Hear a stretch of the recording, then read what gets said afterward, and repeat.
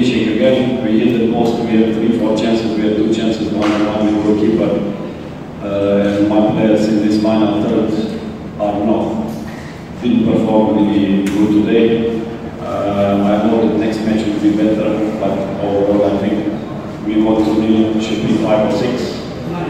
Uh, defensively, they, they, I don't think that they have any clear chance. so I think this part we were quite good.